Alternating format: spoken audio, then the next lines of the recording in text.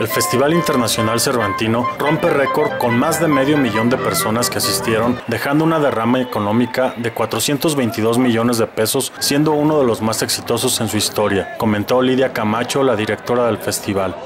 Hace algunos años un grupo de jóvenes de Michoacán y de otros estados han realizado en un día de los últimos del Festival Cervantino la presentación de diferentes bandas, sketch y payasos con el propósito de proclamar el Evangelio, por lo que lo han nombrado el Cristiantino. La organizadora, que es de Zamora, Michoacán, Noemí Silva, comentó. ¿Hace cuánto tiempo se desarrolló este evento? Nueve años, desde 2003. ¿Y qué respuesta han tenido de la gente?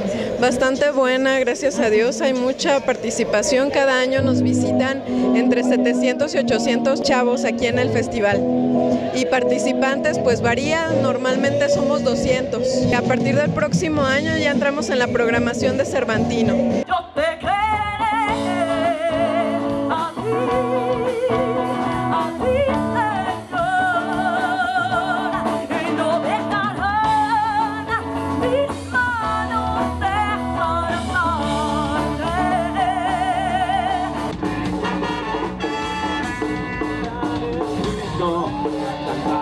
Ante su presencia.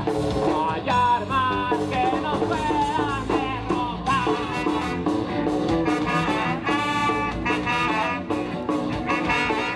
No, estuvo muy bien, de hecho este, venimos de la iglesia Berea de León, Guanajuato y la intención es eh, podernos involucrar en el año que sigue este, dentro de la logística del Cristantino.